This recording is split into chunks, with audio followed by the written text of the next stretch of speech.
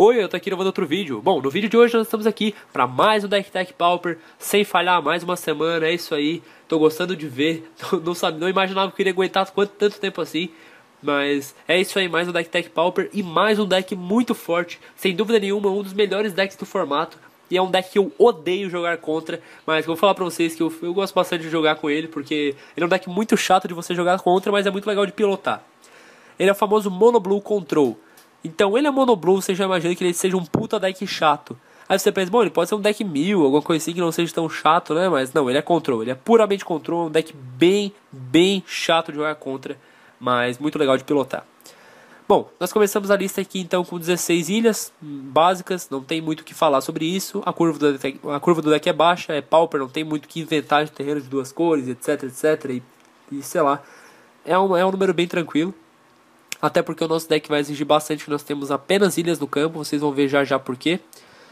E já nós começamos com, a, com, a, com, as criaturas e com a pancadaria. 4 Delver, eu já falei dele em tantos vídeos que eu vou me poupar de descrever ele novamente. Ele está em português aí na tela, você pode pausar, ler o efeito. Caso não tenha entendido, é só comentar aí no, no, nos comentários aí embaixo que a gente conversa. 4 Ninja of the Deep Hours, é o Ninja das Horas Tardias, se eu não me engano. 4 mana 2/2, mas ele tem a incrível habilidade de ninjutsu que por falar a verdade, para falar a verdade, é uma das habilidades que eu mais curto, cara. Ninjutsu é um puta nome e a habilidade dele também é muito boa. Você pode pagar duas manas, retornar uma, uma criatura que não foi bloqueada para sua mão e vou colocar essa criatura no campo virada e atacando. Então você pode tanto descer ela com uma 2 manas 2 2 com ímpeto entre aspas, que você vai estar tá descendo ela já atacando. E quando ele causa dano de combate ao jogador, você compra uma carta. Então você pensa, bom, a criatura não foi bloqueada, então eu vou descer ele batendo 2 e comprando uma carta. É muito forte essa carta. É muito comum você descer um Delver no turno 1 e optar por descer o ninja depois batendo, caso você tenha alguma cantrip para manipular o topo, tendo certeza de que o Delver vai flipar novamente. Enfim, nós temos aqui então uh, a Spell Stutter Sprite. Spell Stutter Sprite, exatamente, caralho, tanto S. 2 manas, 1 barra 1, com flash e voar. É uma fada, é, grave bem essa fada aí. É uma fada mago que quando entra no campo, anule a mágica alvo com um custo de mana convertido igual a X ou menos, sendo X o número de fadas que você controla. Então você pode anular o raio, pode anular um Delver, pode anular muita coisa de custo 1, se você só estiver controlando ela. Mas nós temos outras fadas no decorrer do deck. Inclusive tem, na verdade esse deck, se eu não me engano, tem apenas duas fadas. Mas é, existem muitos decks no Mono Blue Control que existem, tipo, que usam, sei lá, umas 8 ou 12 fadas, tá ligado? É questão de opção. Questão de você de você se acostumar com o deck. Eu acho esse deck aqui, essa lista muito forte, já joguei muito com ela. E eu acho que é questão de você, ah bom, eu prefiro a lista com mais fadas para que a Spell Center Party seja mais forte. Você vai poder, por exemplo, tirar o, o, os ninjas ou tirar alguma outra coisa que esteja no deck para colocar essas fadas. Mas eu acredito que essa lista seja bem consistente, bem redonda, bem tranquila de usar. Continuando aqui, nós temos é, é, dois Spire Golem, é uma criatura artefato de custo 6, 2/4 com afinidade por ilhas. Então no late game é provável que você desça uma 2/4 voar por 1 ou 2 manas, tá ligado? Isso é bem engraçado. E, bom, no turno 3 você desce ela por 3 manas, uma 2/4 voar, o que não deixa de ser deixa de ser bom.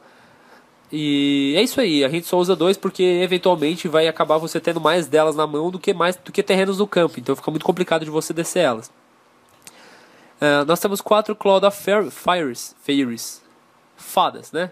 nuvem de fadas, talvez seja esse o nome, se o meu inglês não falha. Dois manos, dois manos, dois manos não, dois manas, 1 barra 1, voar, é uma fada, e quando ela entra no campo você desvira até dois terrenos. Então é legal você descer ela, desvira os terrenos, no turno do cara o cara vai lá, conjura uma mágica, você desce outra fadinha e anula a mágica de custo 2 ou menos com ela. Além do que, caso você não precise dela no final do jogo, no mid game, sei lá, ou até mesmo no começo, você pode pagar o custo de ciclar de 2 e comprar uma carta descartando ela. Agora nós temos algumas cantrips no deck aqui. Nós temos 4 Brainstorm, que é de se esperar, né? É uma cantrip ótima, você compra 3 cartas, depois põe duas na mão no topo. Nós temos 4 Ponderar, vocês olham olha as 3 cartas do topo, pode botar em qualquer ordem, depois talvez, se você quiser, você pode embaralhar. Depois você dá um draw. E nós temos 2 Gush, que você pode conjurá-lo retornando, tanto pagando 5 manas, quanto retornando duas, duas ilhas da sua mão, do campo para sua mão. E você compra duas cartas. É uma marcha instantânea também, então é muito bom. É muito comum você descer aquela fada que desvira dois terrenos, depois você volta os terrenos para a mão, desce um de novo, compra as duas cartas, enfim. No caso, compra as duas cartas, depois desce um de novo. Nós temos algumas coisas aqui, alguns bounces, que caso você não saiba, bounce é basicamente uma expressão para voltar as coisas para a mão.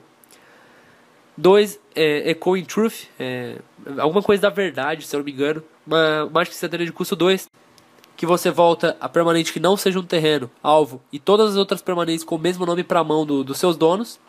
Dois, Snap, que você retorna a criatura alvo para a mão do seu dono, depois desvira dois terrenos. Então é muito legal fazer, fazer essa interação de retorna a criatura para mão, desvira dois terrenos, aí o cara vai lá descer a criatura de novo, você anula com a fada, ou anula com alguma outra coisa do deck que a gente vai ver daqui a pouco. E nós temos quatro Vapors Snake, que é uma das melhores bounces que existem, eu acho. Uh, um mana devolve criatura para mão do seu dono e o controlador pede um de vida. É como se fosse um esconjurar um pouquinho mais ousado, digamos assim.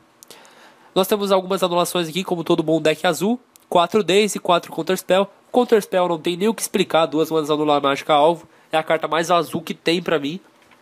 E 4 Days você pode retornar uma ilha que você controla. É, note que é por isso que a gente usa só ilhas, para que não acabar ocorrendo esse tipo de problema de você abrir uma mão com terreno de ciclar ou com alguma outra coisa que não seja ilha, talvez um é, um terreno que não seja básico, que você vai botar para aquele terreno que você pode botar para olhar as cartas do topo, ou quem sabe algum outro terreno assim.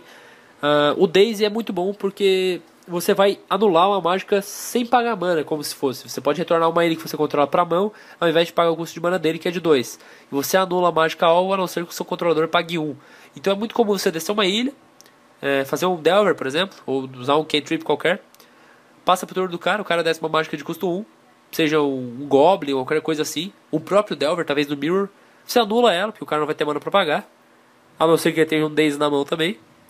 E, e você no, no, outro turno desce o terreno de novo. Ele te, te, atrasa um pouco, mas é muito pior você ficar um turno sem descer terreno do que o cara acabar perdendo uma, uma mágica que você quer estar tá conjurando. E bom, Counter Spell a gente já falou. Esse é o deck, eu espero que vocês tenham gostado da lista e aí do vídeo e do deck, acima de tudo. Qualquer dúvida, crítica, comentário, sugestão, a seção de comentários aqui embaixo é toda de vocês. Desculpe, eu tô um pouco gripado hoje, então talvez a minha voz esteja um pouco fanha, mas acontece, né? Tem que gravar vídeo. Eu posso estar sem um braço, sem uma perna, ou pior, sem as mãos, porque sem as mãos eu não jogo Magic. Mas eu vou estar aqui gravando vídeo para vocês, independente da minha, da minha situação, da minha, da minha saúde. Bom, é isso aí, eu espero que vocês tenham gostado. A gente se vê na próxima. Muito obrigado por ter assistido esse vídeo. Um abraço e falou! É isso aí, se você gostou, você pode clicar no gostei e se inscrever no canal. E não deixe também de checar nossos parceiros na descrição do vídeo. É isso aí, eu vou ficando por aqui. Tchau!